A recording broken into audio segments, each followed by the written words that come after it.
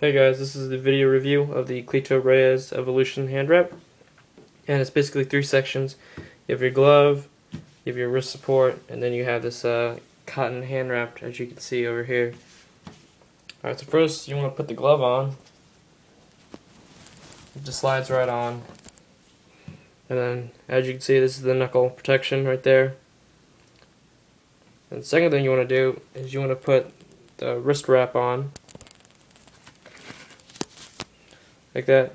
Thumb goes to the loop.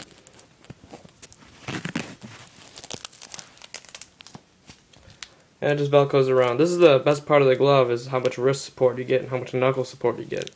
This is really what you're paying for. This is why it's so expensive. I got it for like $50. Uh, there's only like two pictures of it on the internet. That's why I got it. I, just, I was just curious, really. And uh, I got a size medium, so it's the wrong size. But I didn't even know there were sizes. I just bought it, so my loss, I guess. So let me uh, fix the cotton hand wrap. As you can see, I'll just fix it the way I like to fix it. You can fix it however you like, but let me do that real quick. The great thing about this glove, or this wrap, is uh, how secure your hand feels. A lot of support, a lot of knuckle protection, but again, it's size too big, so I never really was able to use it because it never fit under my glove. It's not that it's too big, it's just that my hands are too small. This is the finished product.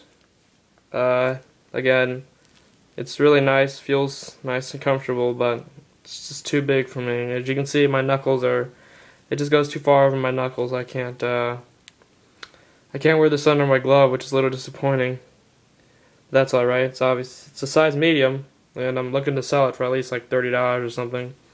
I haven't used it at all really. I just put it on as you can see, but I haven't been able to get a good workout of it yet.